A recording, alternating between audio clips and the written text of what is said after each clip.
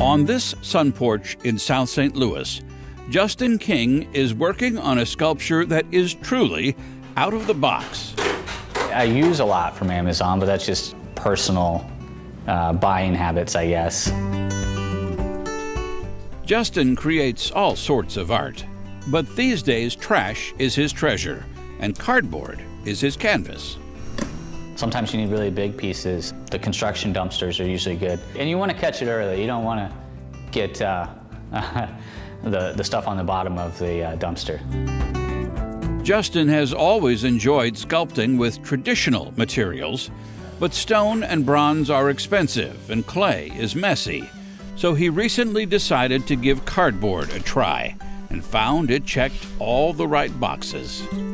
Speed is, is great. Uh, accessibility is an advantage. I'd say some of the disadvantages is that you know, there's a hierarchy for art and the materials that you use and what it's made out of. So trying to bring something that is, you know, trash is high art is, is something you gotta talk people into, I think. And since this is the show me state, Justin thought the best way to get people to appreciate cardboard art is to get it out amongst the people so he created a giant cardboard duck named Carl, and in March he placed it on South Grand. At that time of the year, it did not last long, of course, but Carl got Justin a lot of attention, and that convinced him focusing on cardboard sculpting would make his work more cutting edge. It's funny, you start to have a certain like for uh, certain cardboards over others, you know, how thick or how pliable it is. There's a million shades of cardboard actually. I'm still learning all the time. Um, it's, a, it's a neat medium, it's affordable, anybody can figure out how to use it. I just use a razor knife and a hot glue gun. It gets stronger as you glue up more pieces and they all kind of interlock, almost like a weave, like a, a woven basket, you know. A simple string of that basket isn't very strong, but when it's woven, it, it gets much firmer.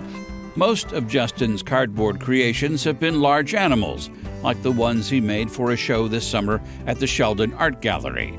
But now Justin is adding people to his repertoire, thanks to his first commission from the Mile Wide Beer Company in Louisville. They hired Justin to create a cardboard bust of Michael McGreevy, a real bar owner from Boston whose old timey image is used on Mile Wide's Pale Ale. Justin is making some parts of Mr. McGreevy out of boxes from the brewery. And you might say he has faced some challenges. Obviously a little bit more difficult to get the plane to the face and things like that. Animals, you could be a little bit more uh, gestural in how you designed it and people would get it, but uh, trying to make someone look like the subject is a little tougher. In keeping with the recycling theme of his work, Justin has been known to repurpose some of his pieces. This blue elephant wall hanging is the head from Eleanor the elephant, who was part of the display at the Sheldon. The chimp from that show is now on display at Art Mart. And this fall, the giant bear from that show will be displayed at the South Grand Chalk Walk, where he will be covered in chalkboard paint so he can be decorated by the public. I like interactive art that people can touch. You know, we're so afraid to you know, we, you know, there's ropes at the museums, and so to invite people to come in and, and just add to it is, is kind of a neat thing. Fleeting is a word Justin often uses when referring to his cardboard sculptures.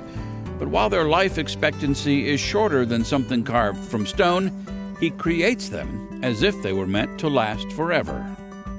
You put attention to detail in every aspect of your work so that uh, you know, it's, it's your work, it's your name, no matter whether you're working with stone or precious metals or whatever it is, you want it to be nice.